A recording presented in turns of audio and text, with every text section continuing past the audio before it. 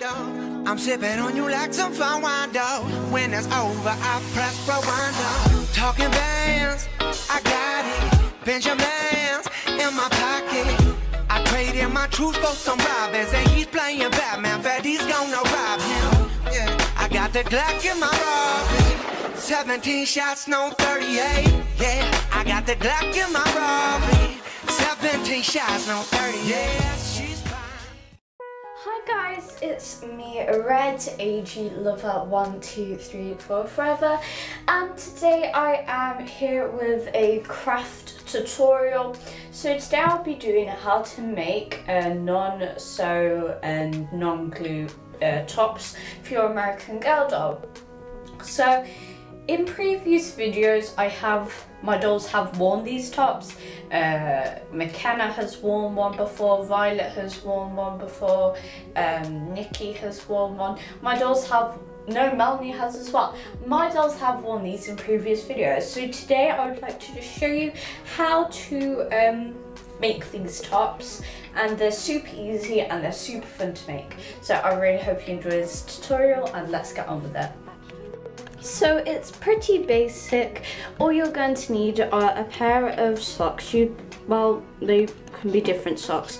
Um, they don't have to be patterned, but I like the patterned ones. Uh, these can be odd socks, old socks, you know, they can, they're, they're, just socks really.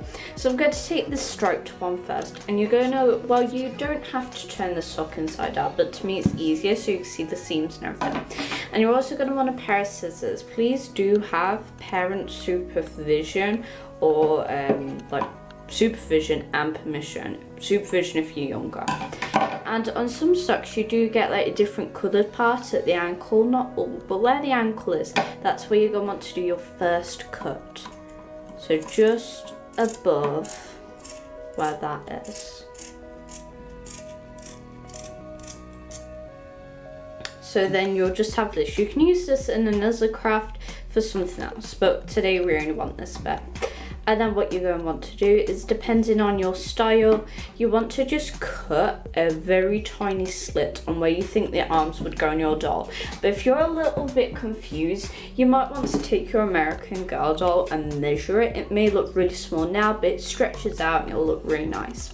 So the arms on Annie, depending on where I want it to be, are about here. So where the white stripe on the top ends.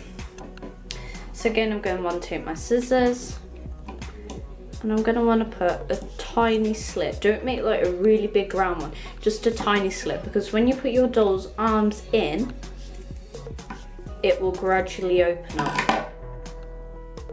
There we go. So I'm to put Annie in this top and then we can make one more if it fits. So let's do this.